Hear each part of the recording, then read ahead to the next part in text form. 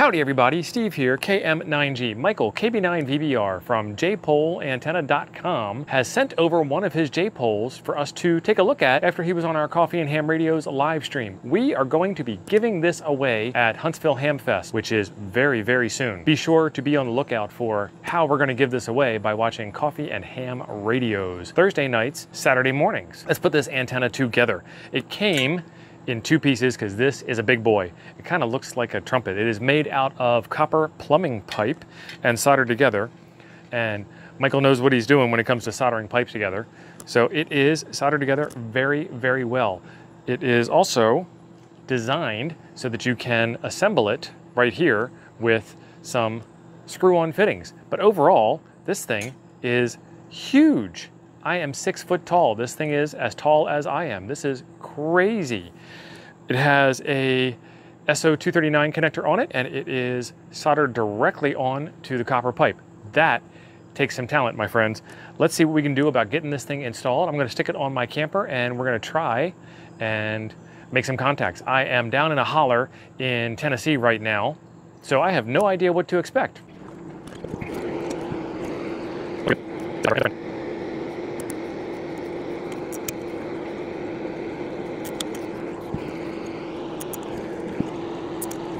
All right, let's take a look at what this thing looks like on the SWR graph on the 705 on two meters, flat across the band. I love it. Two meters is a big band. Let's keep checking. This is 147, the high side.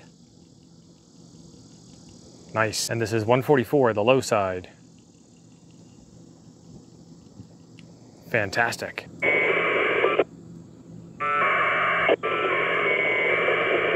All right, we're getting some APRS traffic. Flat SWR on two meters, that's fantastic. I took it back down because I am in a holler and all I can get out here is APRS traffic. My nearest repeater is 34 miles away and it's probably up over that mountain behind me. I am inside my travel trailer. I am up high on Monte Sano Mountain, so I have a height advantage going for me. And then I have an inside the travel trailer disadvantage going for me. And then I'm on five watts on an HT. So I got a whole bunch of compromises going on here and I'm not opening the repeater at all. The repeater can't hear me, but as you just heard, I can hear the repeater. So I should be able to open the repeater like that. Let's be very pedantic and be absolutely vertical. And I'm not opening it at all. Kilo, Mike 9 Golf, testing the repeater. Nothing at all. So what do we got to do? I guess the right thing to do is to start removing disadvantages. I am now outside. I've still got the height elevation. I'm still on the HT. I'm still using the signal stick. The problem isn't the signal stick. The problem is compound compromises. Can I get it now?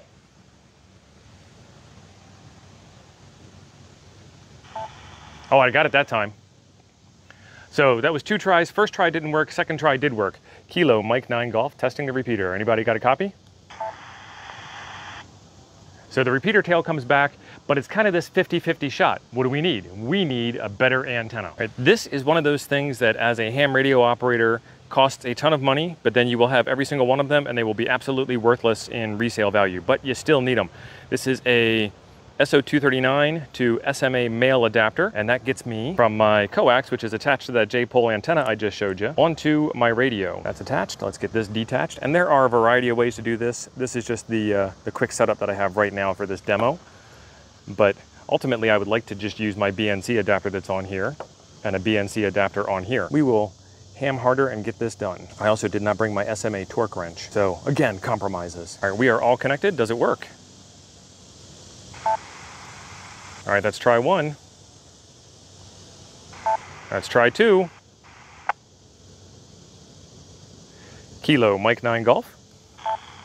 Try three. So the real strength of an antenna like this would be in a base station inside of your ham shack in your house, maybe for full-time APRS monitoring, maybe for two meter Winlink, maybe for opening up farther distant repeaters than you can with just a regular mag mount. This would be something that I would use for a much more permanent install. I just don't happen to have a house anymore. So I can't do that because I am full-time on the road. But it works great with some zip ties on the ladder on the back of my travel trailer. So that is also an option for me if I ever decide to do a lot more two meter work while I'm on the road from inside the trailer. Kilo Mike 9 Golf testing the repeater, KM9G. Anybody out there? And then there's the other problem with repeaters. Sometimes they're really busy, sometimes they're really good, sometimes they're not so good. KM9G, KM9G, testing the repeater. Anybody out there? Anybody got a copy? The KB9 VBR J-pole antenna. You can get this online. There will be a link in the description down below where you can find this fantastic antenna. You can also win this antenna by coming up to us at the Huntsville Ham Fest this Saturday. Join us at the Von Braun Center, Coffee and Ham Radio's live stream from 9 a.m. to 10.30 a.m. as we cover all things Huntsville Ham Fest related. And that is the time frame when you can win this antenna. Come up and give us the phrase that pays, which is Go Badgers, and it is yours. You gotta be the first one there, you gotta be present to win, but that's kind of a minor ask for such an awesome antenna. Check out the link below. These things are fantastically affordable. He's got a couple of different varieties. There is a video right here I think you'll enjoy next. Thanks for being awesome. I'll see you over there.